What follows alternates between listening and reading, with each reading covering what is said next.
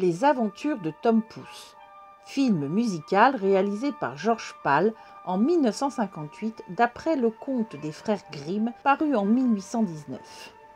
Il était une fois un bûcheron surnommé l'intègre qui donnait les premiers coups de hache à un magnifique chêne lorsque la reine de la forêt lui apparaît et lui demande d'épargner l'arbre. En échange, elle exaucera trois vœux du bûcheron et de sa femme.